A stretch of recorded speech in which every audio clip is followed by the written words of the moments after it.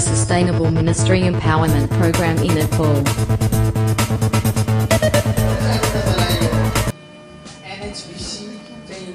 के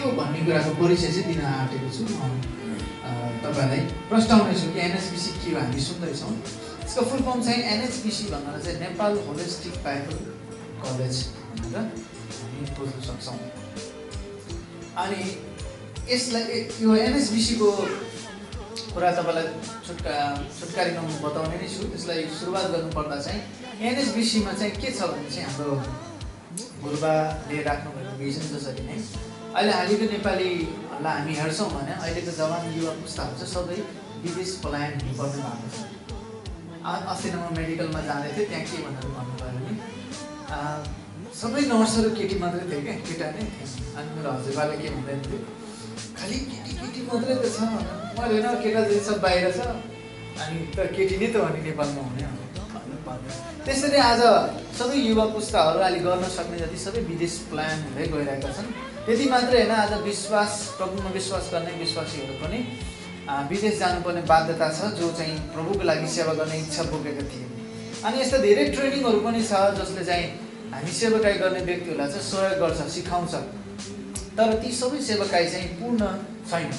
किनभने सेवाकाई कसरी गर्ने भन्ने कुरा त सिकाउँछ तर घर परिवार चलाउने कुराहरू सबै कुरा चाहिँ सिकाउँदैन। तर यो एनएसबिसीले चाहिँ के गर्छ भने बाइबलिक तालिम मात्रै दिँदैन तर बाइबलसँगै व्यक्तिगत निर्माणको कुराहरूबाट लिएर उसलाई आर्थिक रूपमा सबल बनाउने कुराहरू पनि सिकाउँछ गर्छ। अनि यहाँ चाहिँ बाइबलको कुरा प्लस आफूले गर्न सक्ने सिपमूलक कुराहरू पनि सिकाउँछ। जसले उसले सेवकाई पनि गर्न सकोस् र आफ्नो परिवारसँगै बसेर आनन्द पनि मनाउन सकोस् र घर परिवार पनि चलोस् भनेर। र मात्र विश्वासीहरूको लागि मात्रै होइन तर समाजमा अरू व्यक्तिहरू जो विश्वास गर्दैनन् उनीहरूको लागि पनि एन एनएसपिसीले विभिन्न किसिमको प्याकेजहरू राखेको छ जसले चाहिँ उनीहरू यही देशमा बसेर विदेशमा गरे जस्तै खटेर काम गरे पनि यहीँ पनि धेरै कुरा हुनसक्छ भन्ने कुरा चाहिँ एनएसपिसीको छ।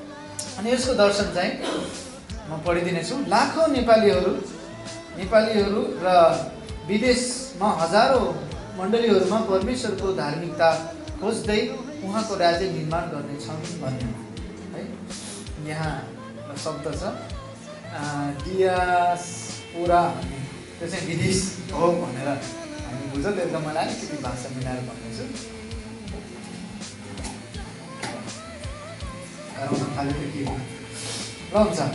अनि यसको मिसन चाहिँ यस्तो छ।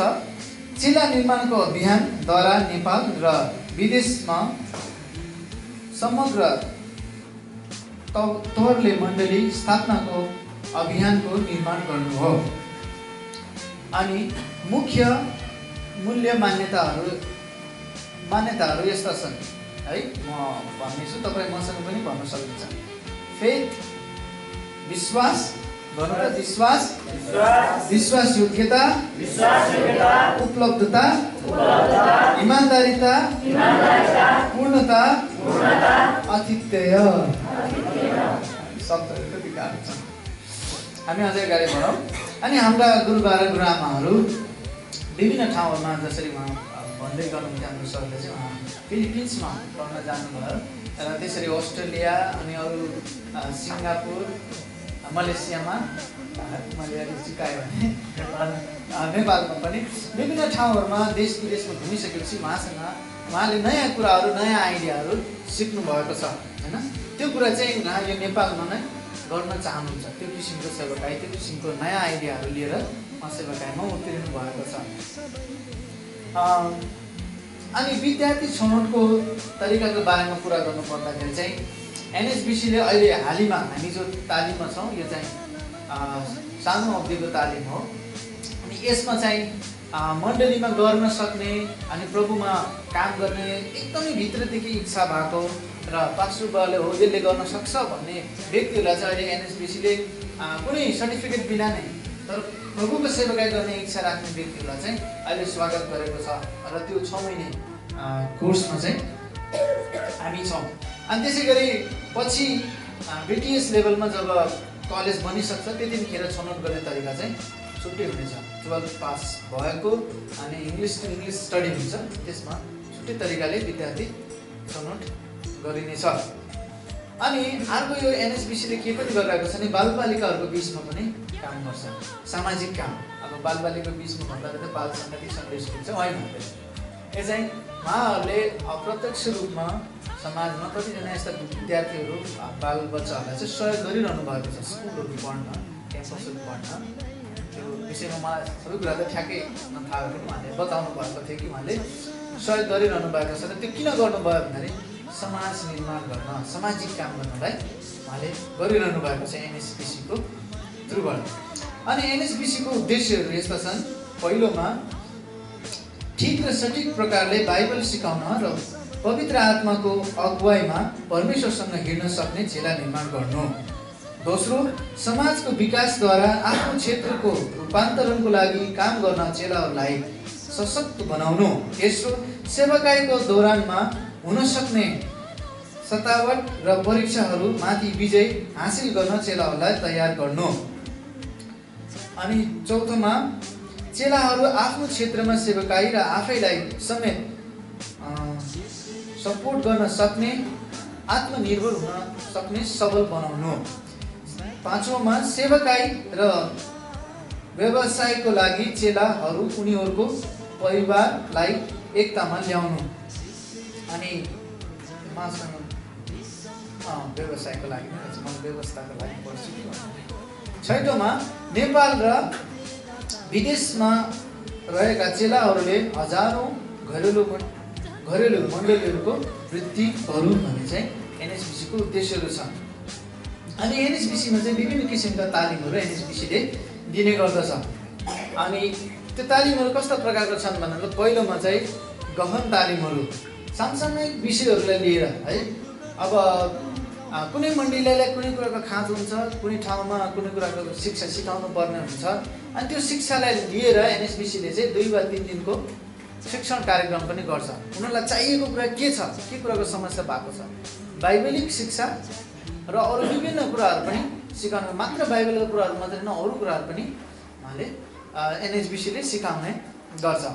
अनि छोटो अवधिको तालिमहरू एक वा दुई हप्ताको तालिम सञ्चालन पनि गर्ने गर्छ एनएचबिसीले तेस्रोमा चाहिँ के छ भने मध्यम तालिमहरू जस्तो छ महिनाको तालिम चाहिँ अहिले हामी गर्दैछौँ यसलाई सिटिएस लेभलसम्मको तालिम पनि भन्न सकिन्छ। यसमा विभिन्न किसिमका गम्भीर विषयहरूलाई लिएर छोटो समयमा सिकाइन्छ जस्तो सन् सेवाकायमा व्यस्त भएको व्यक्तिहरू वा पढाइमा आफ्नो व्यस्त भएको व्यक्तिहरू जसले कलेजमै बसेर पढ्न सक्दैनन् उनीहरूलाई सिटिएसको तालिमहरू जो चाहिँ हप्तामा दुई दिन तिन दिन गर्न सकिन्छ त्यस्तो तालिमहरूले चाहिँ उनीहरूले निर्माण गर्दै गर्छ। आफ्नो व्यवसायमा पनि मात पर्दैन र सिक्न पनि सिकेर अगाडि बढ्न पनि सकिन्छ। अनि लामो अवधिको तालिम। यो अवधिको तालिम चाहिँ के छ भने जब एनएस एनएसबिसीको भवन बनिसक्छ त्यसपछि यो बिटिएसको कोर्स चाहिँ गरिनेछ त्यो चाहिँ तिन वर्षको हुनेछ अनि इङ्ग्लिस टु इङ्ग्लिसमा त्यो किसिमको कोर्सहरू छ अनि अब लगानीको विषयमा भनौँ यो चाहिँ भवन निर्माणको विषयमा हामी कुरा गर्दछौँ। अहिले हाम्रो यो परियोजना चाहिँ एनएसबिसीको योजना चाहिँ दुई करोड पचास लाखको छ। अहिले सुन्दाखेरि अलिक तर्सिनु है दुई करोड पचास लाख। तर प्रभुको कामको लागि यो उहाँहरूले आफ्नो आफूसँग भएको सम्पत्तिहरूलाई बेचेर प्रभुको काममा लगानी गर्नुपर्छ भन्ने दर्शन पाएर चाहिँ यो उहाँले गरिरहनु भएको छ। र यसमा अझै पनि पचास लाख अलि अपुग नै छ किनभने त्यो त्यति लाग्छ भन्ने अनुमान छ तर त्यति अपुग नै छ। र उहाँ विश्वास गर्नुहुन्छ नि यो पनि प्रभुले नै जुटाउनु हुनेछ अब निष्कर्ष के छ भने एनएसबिसीलाई सबै कुराहरू निष्कर्षमा हेर्दाखेरि एनएसबिसीलाई सजिलो भाषामा म बुझा बुझाउन चाहन्छु र हाम्रो सरहरूले पनि सिकाइरहनु भएको छ। त्यो चाहिँ थ्री एचको कुरा हो? है head hand A head heart अनि ह्यान्ड है? हामी धेरैचोटि ज्ञान मात्रै बटुल्छौँ तर त्यसलाई हृदयमा लिएर जाँदैनौँ।